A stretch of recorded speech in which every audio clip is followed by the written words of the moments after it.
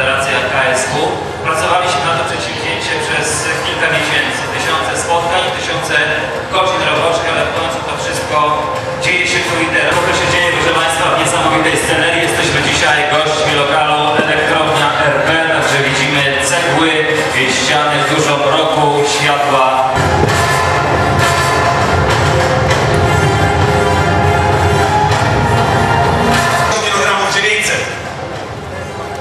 Spokojnie zmieścił się młodzieżowy mistrz świata w, tym, w tej wadze, w tym limicie. Mat Bum Bum Zega. 60 kg 950 Maciej Zega. Na starszemu rywalowi, dobrze? Wojciech Bartek.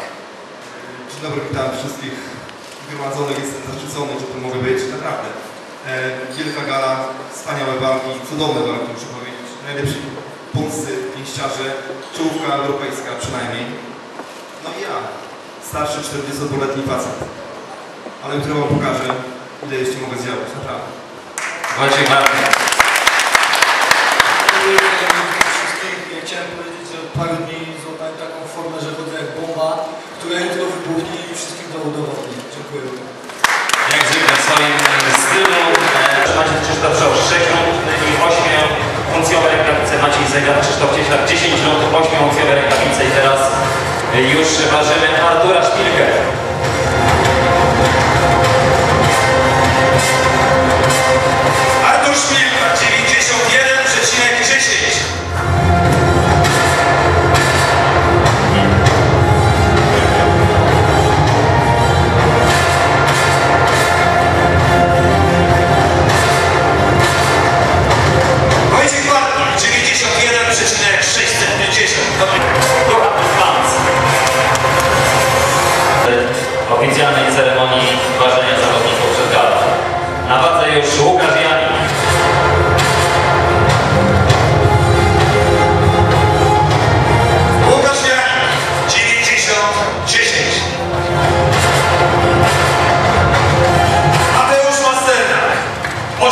89,400. I tak jak Mariusz wspomniał, mam nadzieję, że jutro pokażemy kawał dobrego boksu i kibice będą mieli co oglądać. Dziękuję bardzo. Dziękuję bardzo. Jako pierwszy na wadze Damian Jona.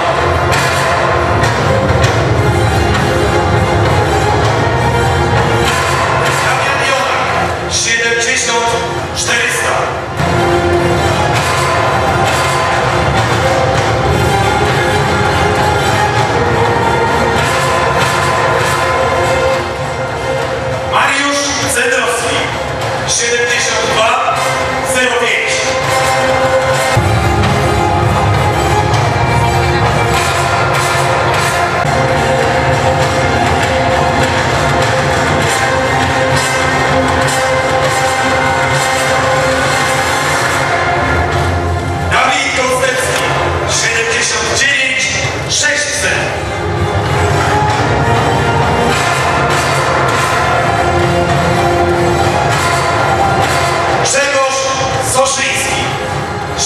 79 kg.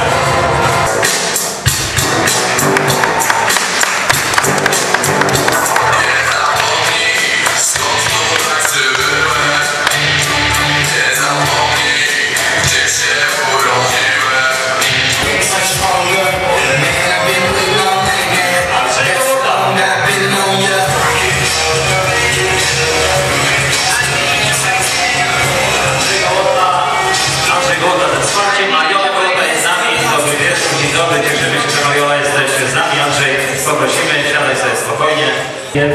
W Intercontinental jest z nami Larry Hazard, supervisor IBF, który nadzoruje ważenie w walce wieczoru, w walce ciężkiej.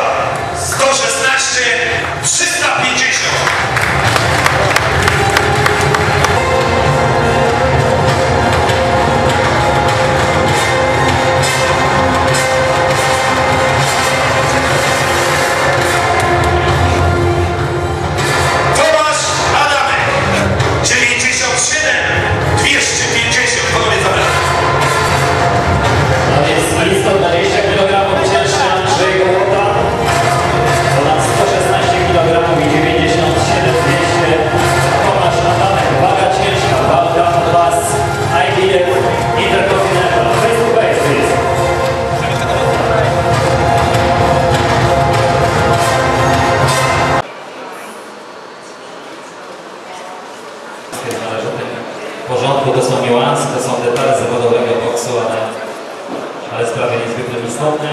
Przymierzył rękawice Jerzy Gołota, przymierzył